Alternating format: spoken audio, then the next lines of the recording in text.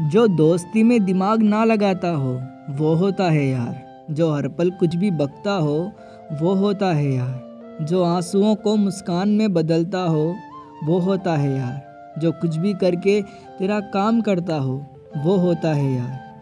जो हर पल तुम्हारे साथ होता है, वो होता है यार।